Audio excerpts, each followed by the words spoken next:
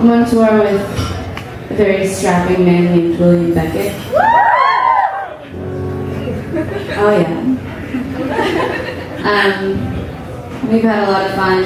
He's incredibly, incredibly talented and awesome to be around, and he only makes fun of me sometimes. It's usually just when I fall, which is most of the time. Um, the song is about stalking. Thank you.